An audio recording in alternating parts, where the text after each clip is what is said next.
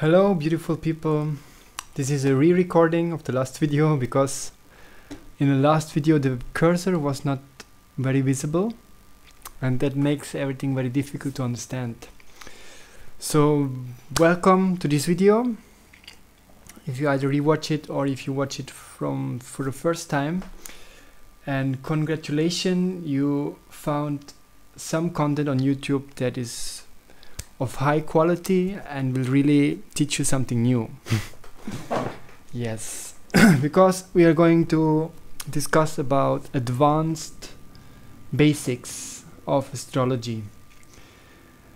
They're basics because it is uh, very much needed for any calculation and it is a bit advanced because usually nobody knows about this. So this is about how to calculate the ascendant and the different house points.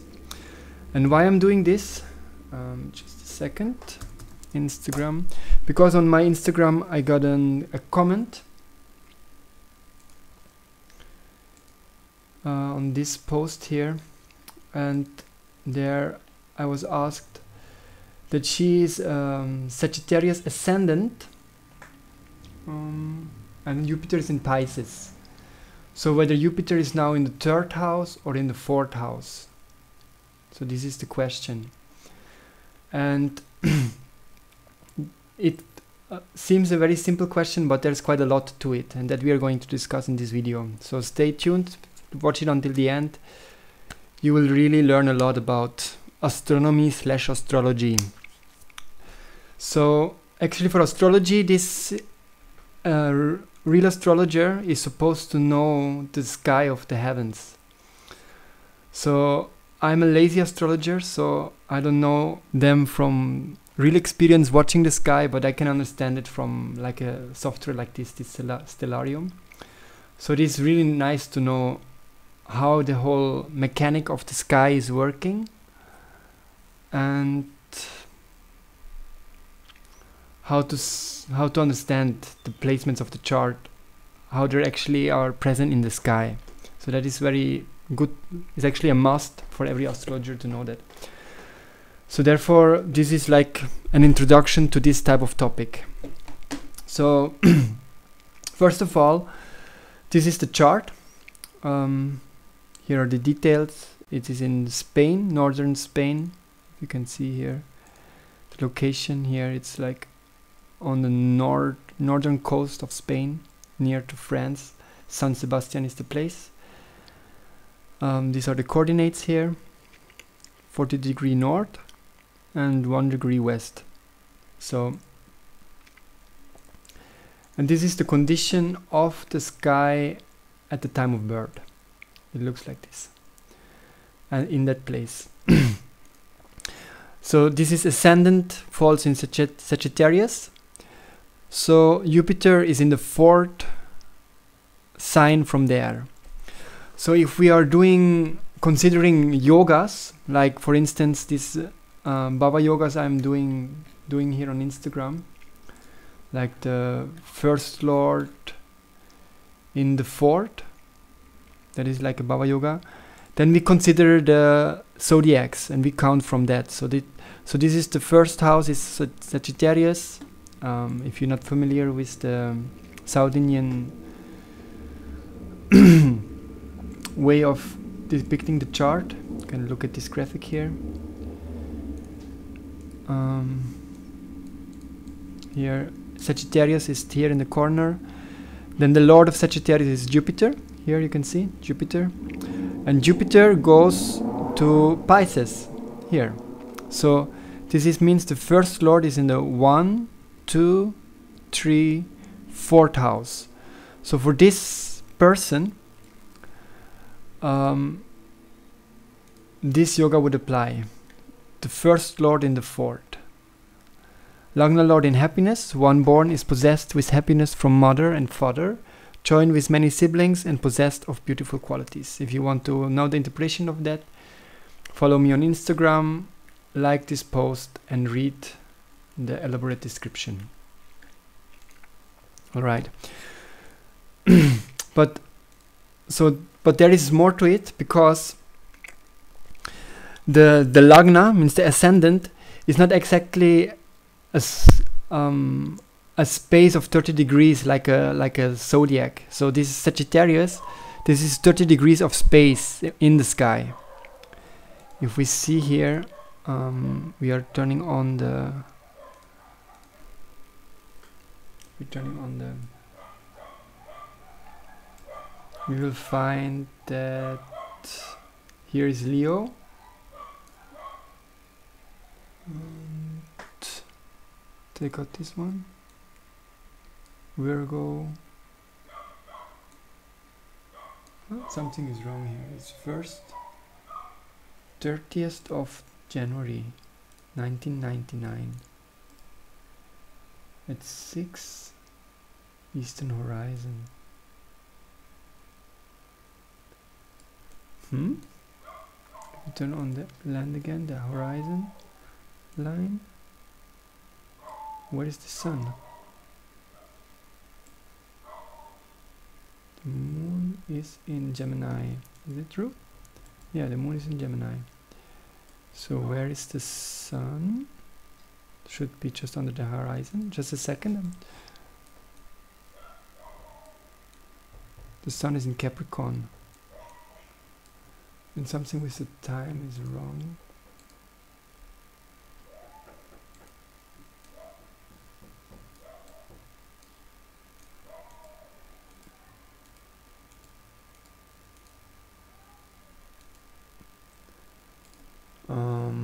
oh yeah the time zone is setting wrong is wrong set excuse me.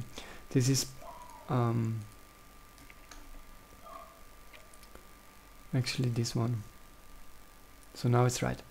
Okay now we are now we are correct here. So um, excuse me. Turn off this one. So the sun is just here below. Sagittarius here is the Sagittarius that's Capricorn. So we see Capricorn, Mercury, Sun and, Capri and Mercury in Capricorn, Venus in Aquarius.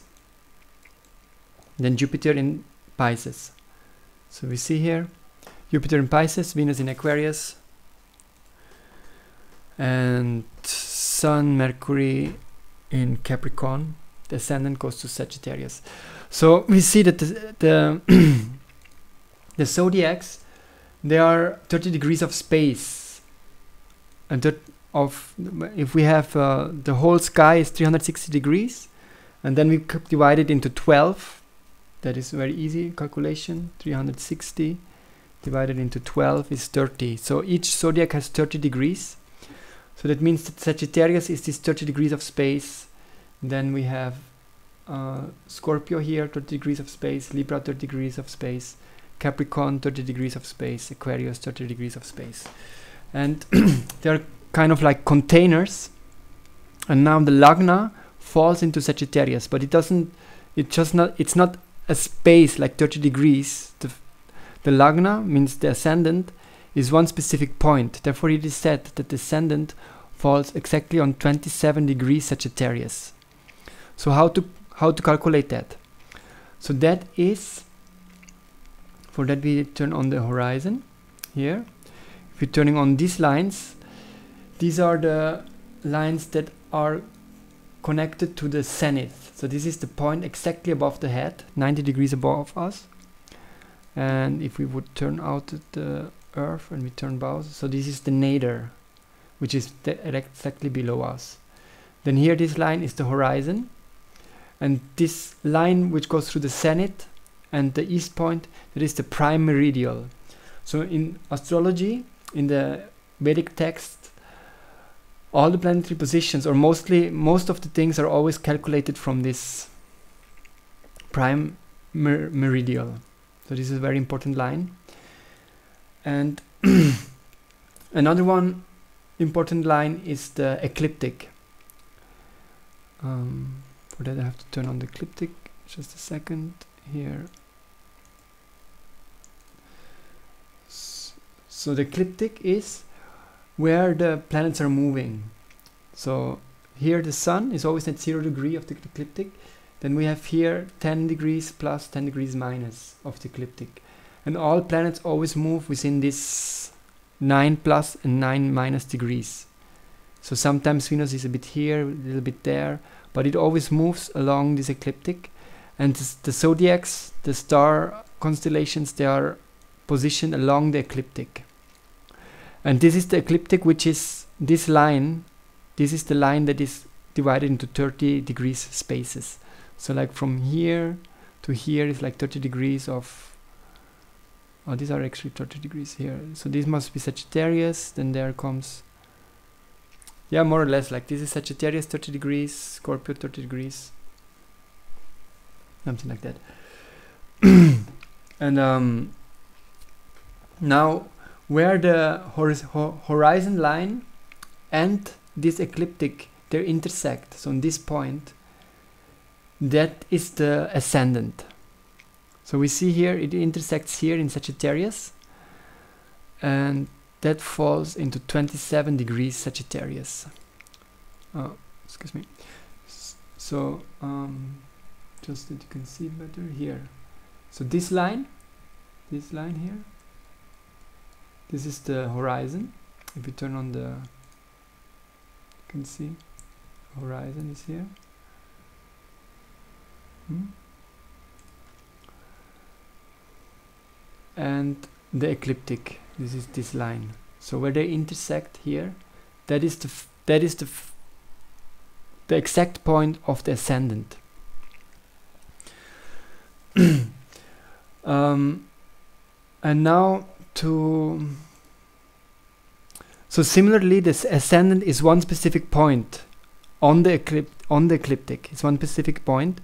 So similarly all the other bhava uh, all the other house points are also specific points. They're not an undefined 30 degrees of space or or or um, I would say a box of 30 degrees of space like the zodiacs but they're specific points and they fall in the zodiacs. So if we see here in this uh, software, I will put a link in the description. You can download it there. It's for free. It's quite very useful software, quite accurate. So if you see here, there are different types of calculation methods for the house houses. If you want to know more about that, you can go to one website. This is called um, astrologyvideos.com that uh, is the website of Ernst Wilhelm is one of my teachers. And currently the website is down I don't know it's just since, since today. But there is one section under the courses which says about Jyotish building blocks and that is free to access without subscription. And there is a video called local space where these things are explained. So what is the primordial primary meridial line this one the east point the north point the zenith and the horizon all these things are explained there um, and there is another one video about the Bhava systems where Mr. Wilhelm, also Ernst Wilhelm is uh, explaining many different types of calculating Bhavas. So he's using the um, Campanus system. Here the software I can also choose uh, has quite many different types of systems. So I'm also going with the Campanus system. And in this video, we only discussed this. If you want to know about other systems, then you watch, please watch the video of Ernst Wilhelm. But here, Campanus system. Um, all right. So in this in this Campanus system, the second Bhava point, also the second house point, falls into Aquarius. It doesn't fall into Capricorn, it falls into 25 degrees Aquarius. And then the third and the fourth point both fall into Aquarius. So how is that possible? So this I'll show you here now. So to calculate the Bhava point, we are taking this prime meridian and we, we are cutting this prime, prime meridian, excuse me. Let me just get rid of this one this primary deal into 12 sections. So that gives us for each Bhava point or each house point um, 30 degrees. So these are 10, 20, 30 here. So if we go up, so that is in the sky which is above us at birth. This is what we see in the sky at the time of birth in the eastern horizon, above the horizon. So this 30 degree, this point here, that will be the 12th house point. If we go down, 1, 2, 3, until here, so 10, 20, 30 degrees down on the primary radial. So this will be the point for the second second bhava, second house. And now this has to be projected onto the ecliptic. So the ecliptic is this line here where the sun is moving. This is this this brown line here. This line is the ecliptic. You see Mars is here along then Mercury, Sun, Venus, Jupiter. They're all all along this line. So we have to project this point here onto the ecliptic and that is done by connect by drawing a line to the north point so the north point is here and if we draw a line to this point here we'll intersect the ecliptic here so this is the point and it falls into Aquarius. Second house falls into 25 degrees Aquarius. So I cannot draw the line so nicely because there must there might be a bit bent, like from here a little bit bent. So then it will cut here in the upper part of the Aquarius and goes there to the north point. So therefore the second house point falls into 25 degrees Aquarius. Now for the third we have to go to 60 degrees. So here is 30, 40, 50, 60. And then this point we have to project on this on this one uh, on the ecliptic by connecting um, this point to the uh, to the north making a line. So if we're making a line chick, chick, chick, chick, uh, where is it? Oh, excuse me. So here is 10 20 30 40 50 60 and now we're drawing a line going going across here and here we cut the ecliptic. So we kind of fall into Aries. I mean here it's not so clear because the lines are bent. So this program doesn't show this line which we need to co connect. But this is like the way it will something like this. And here is Aries. It is cutting the line around here which brings which brings us close to Saturn and then we can see um, Saturn is at 4 degrees Aries. That means this point here is 4 degrees Aries. And somehow this line from here goes goes here. It makes a bow bow like that and cuts around here. So we can see the third house is at 4 degrees Aries. So that means the Saturn is very much conjunct the fourth house and Saturn is debilitated so it doesn't look good for, for the fourth house however um,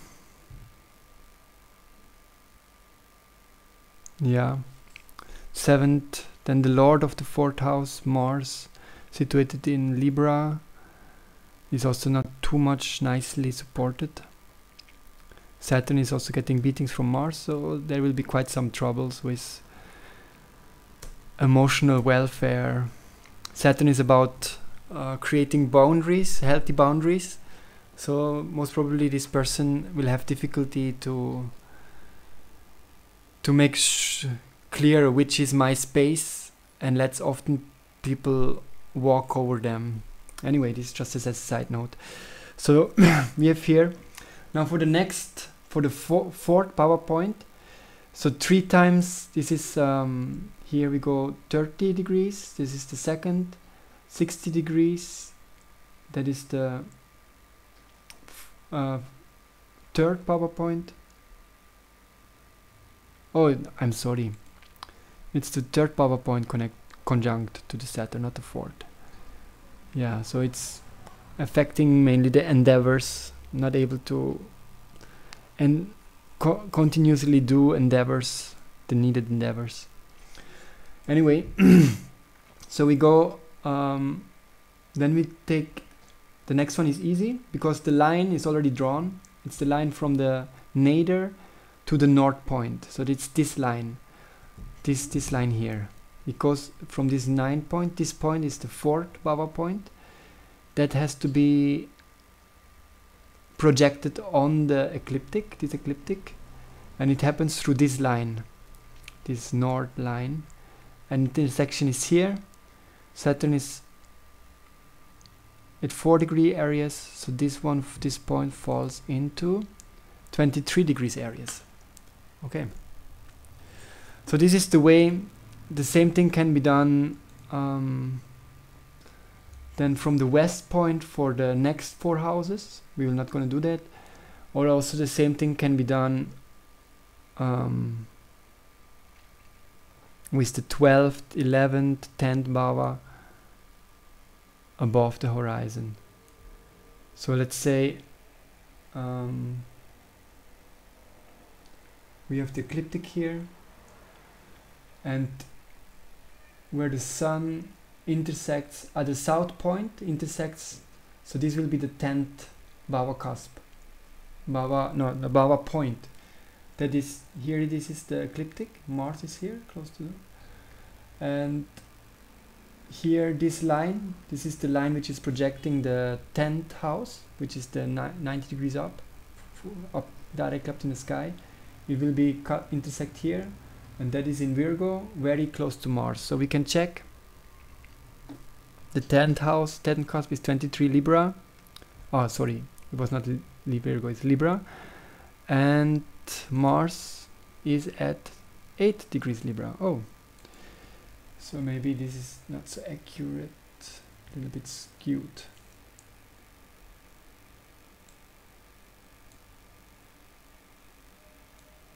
Yeah.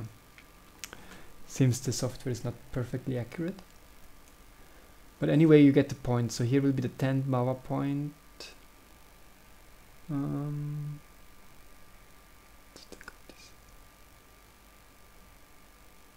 yeah, this is the this is the ecliptic, and here is the line. Here, this is the ecliptic, and here is the line that intersects. Okay. Okay, that's that's it for the explanation of the Bhava points. So as I said, if we are considering yogas, like like this um, Bhava yogas I'm talking about on the Instagram, then we consider Jupiter is the fourth, the first lord in the fourth house. And also in considering consideration of um, Raja yogas, for instance, let's say seven, eight, nine. The ninth lord is Sun in the second house, conjunct with the seventh lord. So this gives a Raja Yoga in the second house. Seventh lord conjunct to ninth lord will bring um, Dharma Raja Yoga, which is about very being very inspired. So this person will be very inspired to speak its truth, to take care its family. Second house matters are very inspired. Will be this person will, will be very inspired for doing these things. 10 it's also the 10 lord. Mercury 9 and 10 lord conjunct is very nice. Uh, let's see what the software says. Um, sun mercury huh? raja sambandha. Raja dharma karma yoga yeah here this one 9 and 10 lord conjunct. And being conjunct to Ketu means Ketu will also be a yoga producer and being in opposition to Ra Rahu through the aspect Rahu also will become a yoga producer. So this is a very inspired person in the dashas of Rahu Ketu also this yoga will manifest. Okay. So um, that is what I wanted to say for the houses. So as I said for yoga placements we we consider we count the zodiacs, the rasis. But if we want to analyze the concrete effects on the houses, on the bhavas, then we have to consider, we should consider these bhava points. I found this in very more accurate to, uh, when we're using the bhava points.